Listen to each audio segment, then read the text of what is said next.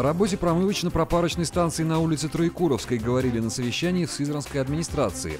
В очередной раз городские власти поднимали вопрос о необходимости реконструкции пропарки, арендуемой ранее у железной дороги первой грузовой компании и установки там стационарного поста наблюдения. Однако ее представители пока заявляют о невозможности начать работы по финансовым причинам в связи со сменой собственника пропарки. Значит, соответственно, этот договор, как и все другие договора, он требовал пересмотра. 2012 года нам договор с инвест-условиями не подписали. Без подписания этого договора, по словам представителя компании, вкладывать деньги в реконструкцию ни один здравый человек не будет. На это глава администрации Николай Лядин ответил, что готов лично поехать в Москву и решить вопрос. Ведь жители этого района не должны задыхаться от запахов с пропарочной станции. Сегодня для того, чтобы не сделать, ну, по-моему, можно тома целый написать, чтобы это не сделать. Такая есть, к сожалению, линька. К нему обращаются, ко мне обращаются, туда заехать нельзя. Я иногда еду с Самары через вот, значит, Октябрьский, так называемый наш поворот, чувствуется. Сызранском городском суде состоялось слушание по делу предпринимателя Михаила Марунова. Владельцу частных маршрутов инкриминировали неуважение к суду.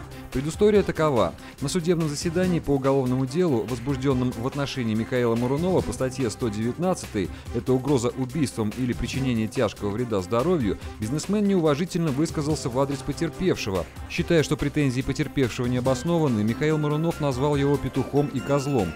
За сказанное предпринимателю теперь придется заплатить штраф в 15 тысяч рублей.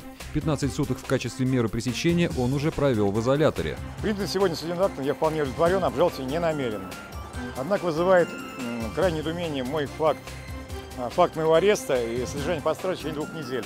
Тем не менее, пребывание в сезон номер два в тюрьме пошло на пользу, я хорошо отдохнул, набрался новых сил, за что особо благодарность сотрудникам данного учреждения.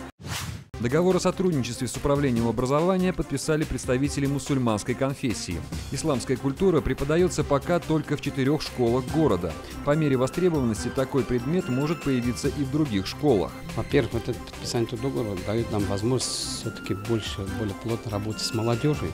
Самое главное для нас молодежь – это наши дети, это наше будущее.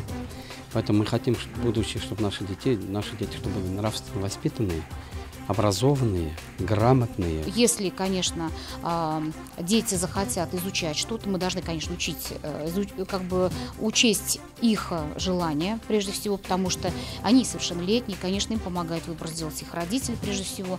Но я думаю, что главная э, задача всех конфессий это направлено на то, что на добро, на радость, на любовь, на уважение. И неважно, к кому мы принадлежим, какой религии.